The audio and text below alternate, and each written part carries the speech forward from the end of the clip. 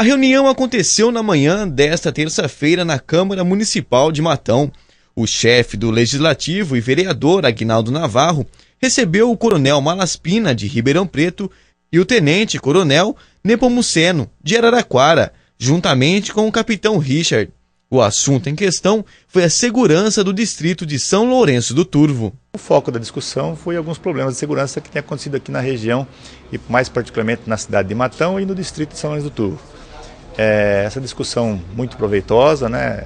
adotamos aí e alinhavamos algumas ações de polícia extensiva que deverão ocorrer já nos próximos dias, é, visando aí trazer uma sensação de segurança maior para a comunidade, tanto de Matão quanto lá de São Lourenço do Turvo.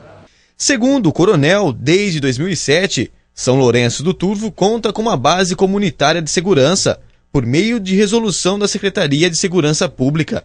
O objetivo agora é intensificar os trabalhos. Ela é regulamentar, nós temos lá um policial que trabalha fixo, com uma viatura fixa nessa, nessa, nesse distrito, e o que a gente vai fazer agora é com algumas iniciativas a mais, né, vamos dizer assim, dar um, uma implementação maior no policiamento ostensivo naquela região. Consequentemente, com essa presença maior, inclusive com outros órgãos envolvidos, até com um esforço também do próprio banco que nós pretendemos aí fazer contato, com essas ações aí num, num pacote, vamos dizer assim, a gente tem a certeza que a comunidade lá vai voltar a ter a tranquilidade que sempre teve.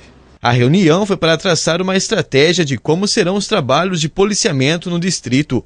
Segundo o presidente da Câmara Municipal, uma excelente conquista para os moradores do Turvo. A única coisa que ficou para trás é que a prefeitura vai convocar o banco, não é, é para que eh, o capitão, o poder legislativo, executivo e banco para que nós para que nós vamos nós vamos fazer uma reunião para acertar os detalhes para que, para que resolva o problema dos roubos lá no Turvo.